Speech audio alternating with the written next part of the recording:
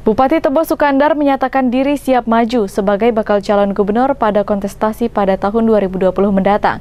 Jabatan orang nomor dua di Provinsi Jambi dinilai realistis bagi Bupati Tebo dua periode ini. Nama Bupati Tebo Sukandar masuk dalam bursa pemilihan gubernur tahun 2020.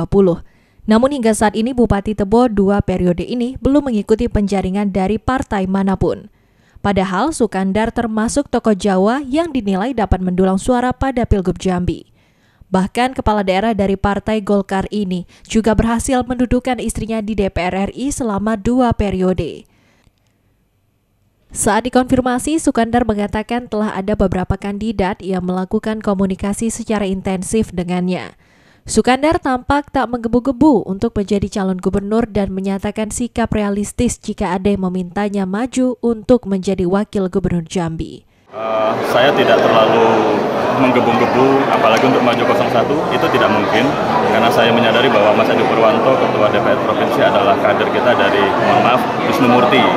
Ya, saya kan bernaung di bawah Paguyuban Wisnu Murti. Jadi kalau untuk nomor dua, saya akan wait and. Siapa yang punya uh, komitmen yang sama, persepsi yang sama, sama cara pandang, cara pikirnya untuk membangun Jambi, memajukan Jambi, saya siap. Tapi kalau tidak, saya pun tidak maju tidak apa-apa. ini sudah ada partai atau calon yang komunikasi? Uh, partai belum, tapi calon sudah ada yang komunikasi. Kliva Patria, Jack TV melaporkan.